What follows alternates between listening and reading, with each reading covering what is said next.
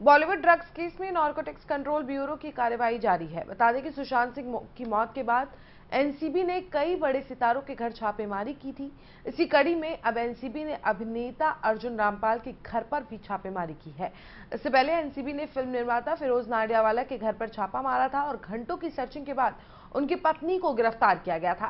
खास बात यह है कि बीते शनिवार रात से ही मुंबई में एनसीबी की ताबड़तोड़ कार्रवाई जारी है। इस दौरान कई स्थानों पर छापा मारा गया तो वहीं कुछ ड्रग्स पैडलर को भी पकड़ा गया है।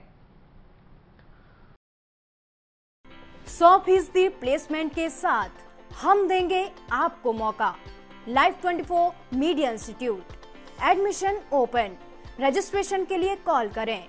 Nine five six zero four six four one seven zero